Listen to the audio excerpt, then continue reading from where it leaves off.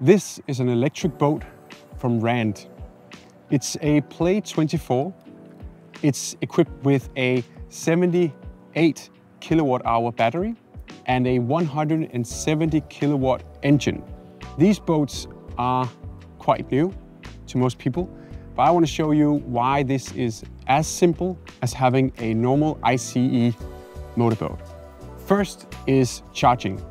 Charging can be quite new to most people, but luckily most harbors already have an infrastructure that allows for charging off the normal house battery that you have on most boats.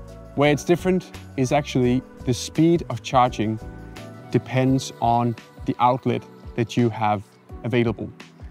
So this boat can actually charge at the lowest, which can be down to 7 amps, one phase, and depending on if you're in Europe or in the United States, anywhere between 130 volts and 230. All of these numbers can make it quite difficult for most people to understand how charging actually works.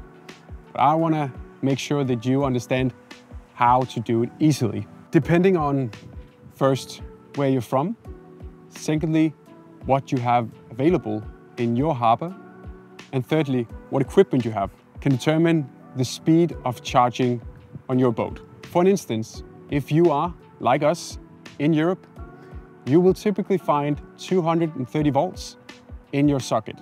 Most of these sockets you find around will come with either a 7 amp, 10 amp, 16 amp, or 32 amp power. The easiest way to calculate how many kilowatts you can get from the outlet is by using the voltage times the amps. This means that this boat can charge from a normal outlet with anything ranging from 3 kilowatts all the way to 22 kilowatts per hour. With this battery, that is 78 kilowatt hours, you can actually charge this boat fully within four hours with the fast charging or during the night with the slower charging.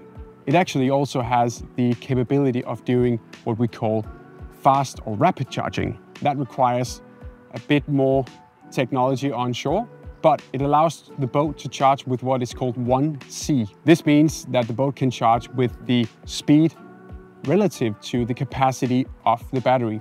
This one has a 78 kilowatt hour battery, so you can actually charge with 78 kilowatts. That means that this boat can actually charge from 10% to 90 in around an hour. This means that even with a 78 kilowatt hour battery that is in this boat, you're never limited on range as long as you have the ability to charge in your harbor. And here we are at the heart of the electric Play 24. As you can see, it might seem a bit overwhelming, confusing, but that's because it is different. Actually, this allows for easy access and easier maintenance.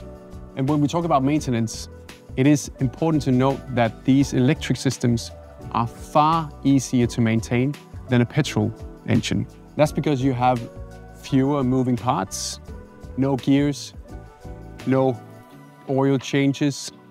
It's one engine, one battery bank, and one BMS, or the brain of the operation.